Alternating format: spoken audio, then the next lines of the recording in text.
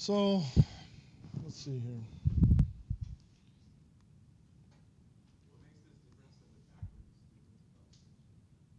Well, in 1D it's not, right? But in 1D you always know the velocity is either that way or it's that way. And so you're just doing a backwards difference approximation, right, with respect to the velocity. But the velocity is always in one dimension. It's in two and three dimensions where it's different. Because in two and three dimensions, the velocity vector, in 3D, the velocity vector can be any, every, any di di direction, and it may not necessarily perfectly align with the grid, right? If it perfectly aligns with the grid, it is just a backwards approximation, right? It's just a backwards difference approximation. But in the event, the general case, where, where the velocity vector doesn't align with the grid, then you have to do something else. You, you have to sort of approximate the derivatives in a, in a special way. Yeah, some some yeah, some different approximation of the derivative. I mean, the simplest thing you could do is just take the i minus one j minus one. You sort of always approximate the derivative as like a, as, uh, you know, 45 degrees. You know, so it's it's not going to be perfect, but that would be a better better thing to do in nothing.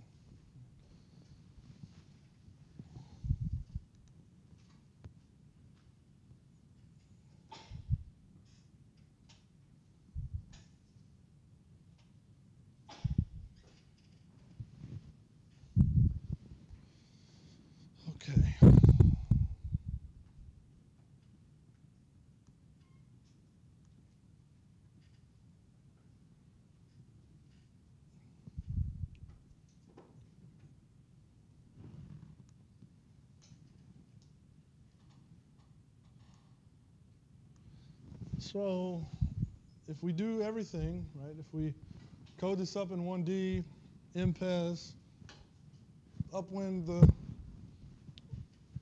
upwind the relative permeabilities correctly,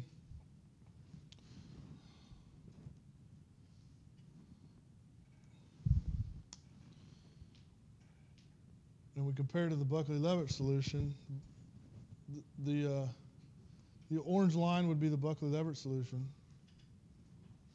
So that's the front, the front propagating through. Now, of course, that's not a very good approximation, but that's because it only had 10 elements. Right? So if I go to 100 elements,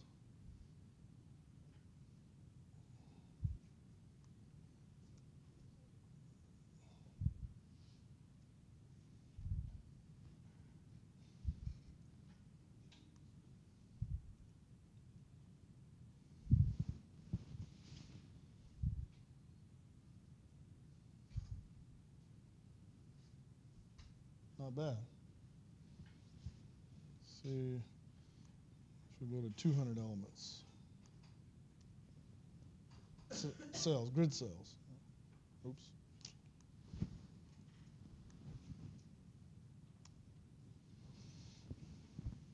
Oop. So, yeah, not so good, right?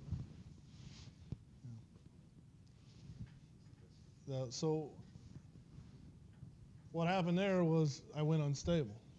So I, I divided, I made delta x too small without reducing delta t, and I, I, I lost the stability criteria. So in order to get get it back, um, let's see if I can get there like this. It's going to take longer to run.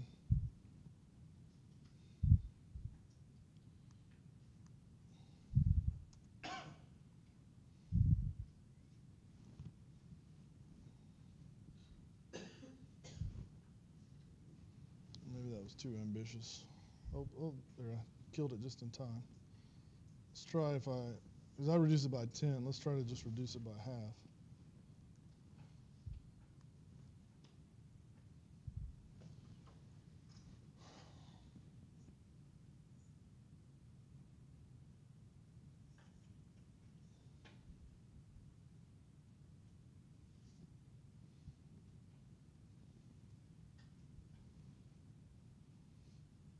Pretty good.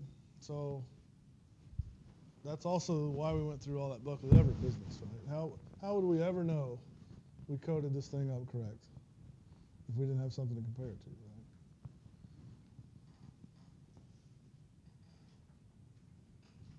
Any questions? So you, do you, do you use finite differences? Yeah. Yeah. So you, so you said earlier that um, you need you need to use finite difference- finite elements to coexist into 2D or 3D, right? No, no, no, no. That's not, not, not, what I meant. I, with respect to finite elements, the interpretation of numerical diffusion can be dispensed with, uh, you know, theoretically. Right? That's what I meant. In 2 and 3D, to do the correct upwinding, it can be difficult with finite elements, right? Because, I mean, with, with, with finite uh, with, finite differences, right? So with finite differences,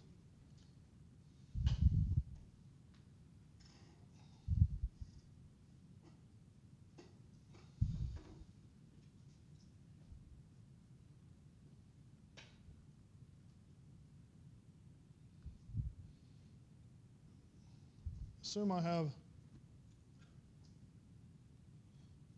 a front moving through my material like this.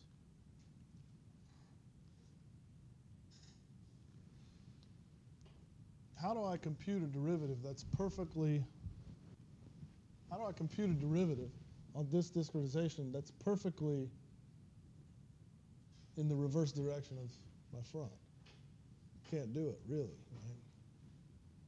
I mean, I, you know, if I take the i minus j, then, then that computes the derivative that's, if I just take, use the, the, the i minus 1, j minus 1 from, say, this location, that computes the derivative that th- the, where the normal the normal velocity is 45 degrees. And so that computes a derivative that's like this. So if I, if I use the i minus 1 j minus 1, that's that's assuming the velocity field is like that, right? It's not perfect. So it's close, and, and most of the time it might be good enough, right? And in the limit, right, if I refine this thing, it, it'll approach the right velocity field. But the difference is in, in finite elements, I actually have a functional space on every element. It's not just a point in the center. Right? I have a function defined over the whole field. If I have a function defined over the whole field, I can compute the gradient of the field, and I can get the exact. You know, I can upwind it exactly. Even if you're in the right direction, if there's grid blocks that are like a thousand feet long, then your, your derivative is gonna be that far away from the actual point you're computing the derivative, right? Yeah. That's, Yeah. that, But I mean, it goes away in the limit, right? All, all of these, you know, the limit of delta x and delta y going to zero, you would you would approach the correct derivative. but But, but computed the derivative that away from yes, that's true. So if you had in that in your example, yeah, yeah, it would be very bad. So, yeah, I think